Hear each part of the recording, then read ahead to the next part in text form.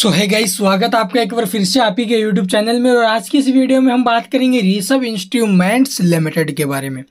हाल ही में आपको पता होगा, अभी इसका आईपीओ आया था और आईपीओ के बाद आईपीओ में भी काफ़ी शानदार प्रदर्शन और आईपीओ के बाद भी आप लोग देखोगे स्टॉक ने काफ़ी शानदार प्रदर्शन किया है।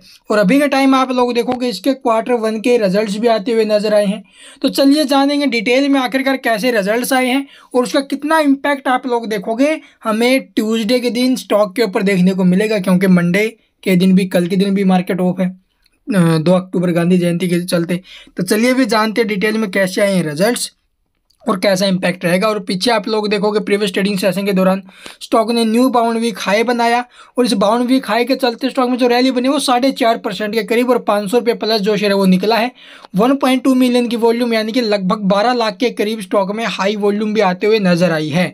इस वॉल्यूम चलते आप लोग देखोगे भी उन्नीस सौ दस करोड़ की मार्केट कैप वाली कंपनी यानी एक स्मॉल कैप कंपनी है, जो आगे चल के large cap mid cap large cap में भी कन्वर्ट होगी।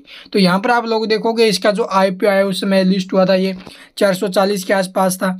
वहाँ से आप लोग देखोगे, मैंने वहाँ पर भी आपको बोला था, थोड़ा रिस्क लेके चलिए, ठीक है? चार तीन सौ अस्सी के आसपास का स्टॉप लॉस अगर लेके चलोगे तो इसके टारगेट ऊपर में पाँच सौ प्लस के रहने वाले हैं, ठीक और ये स्टॉक आप लोग देख सकते हो, अभी अभी के टाइम पाँच सौ प्लस आ भी चुका है। तो जिसने भी थोड़ा बहुत रिस्क लिया, यहाँ पर नीचे के भाव में स्टॉक को डाटे रखा, उसके बाद आप लोग देखोगे स्टॉक कहाँ पर गए हैं। अभी के टाइम आप लोग रिजल्ट्स कैसे आए हैं, उसका कितना इम्पैक्ट आएगा, अगले ट्रेडिंग सेशन में वो देख लेते हैं।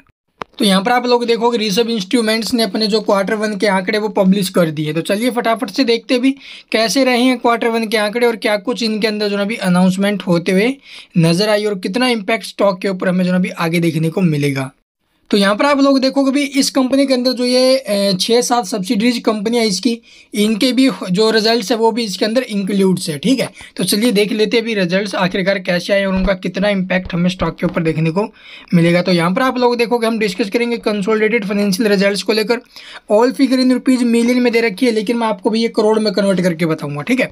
तो यहाँ पर आप लोग देखोगे भी क्वार्टर एंडेड ठीक है? और यहाँ पर आपको ये प्रीवियस ईयर एंडेड रिज़ल्ट देखने को मिल रहा है।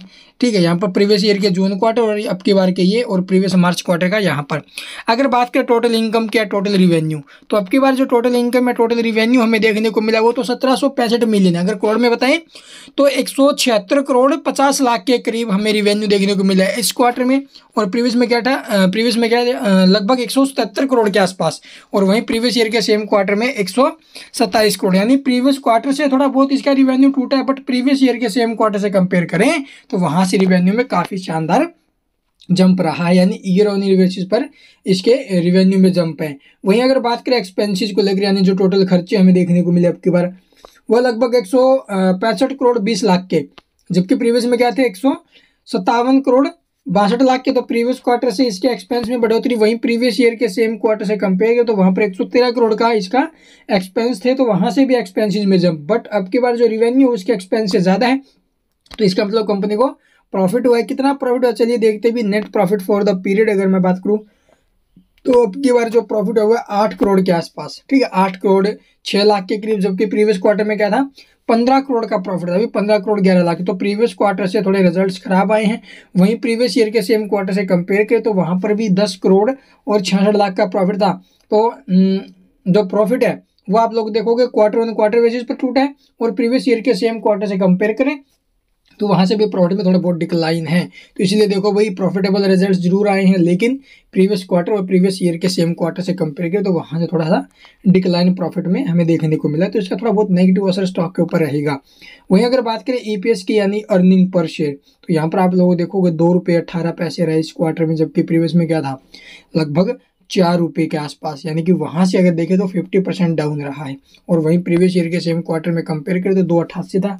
और अब की बार दो रुपये अट्ठारह तो ये इसके रिजल्ट्स रहे रिज़ल्ट देखो भाई, कुछ खास नहीं आए प्रॉफिटेबल ज़रूर है, लेकिन प्रीवियस क्वार्टर और प्रीवियस ईयर के सेम क्वार्टर से कंपेयर करें तो वहाँ से जो रिज़ल्ट है वो थोड़े डिक्लाइन में आते हुए नज़र आए हैं। और बाकी आप लोग जो ये अनाउंसमेंट की बात है तो ये जो नोट्स दिए गए ना भाई वीडियो को पहुँच करके डिटेल में पढ़ लेना। आई होप आपको वीडियो पसंद आई होगी। वीडियो पसंद है लाइक कीजिए।